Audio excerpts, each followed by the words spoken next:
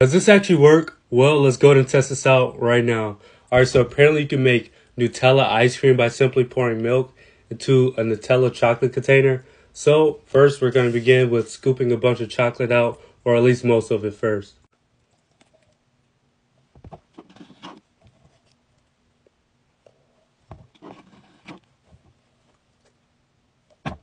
Alright, so now that we got most of the chocolate out, all we have to do now is add the milk. So here we go. Gonna pour some milk in there. Alright, that should be enough. We added the milk, and now we just shake it up. Before I begin shaking this up, make sure you guys lock in your answers yes or no if you guys think that this will work. Lock it in. Okay, so now we're going to refrigerate this for about 24 hours. So if you guys like to see the results, hit that red button for part two. Hit that red.